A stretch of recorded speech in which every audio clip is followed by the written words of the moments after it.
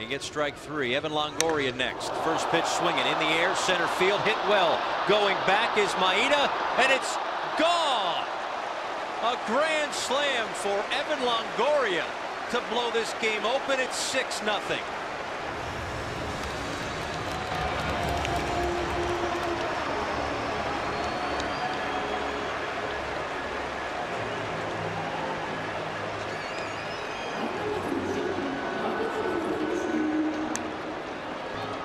Three career grand slams in the major leagues for Evan Longoria and one tonight in Japan.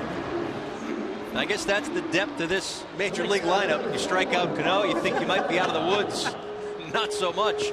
And you get ambushed by one of the best right-hand hitters in our sport, Evan Longoria. First pitch swing.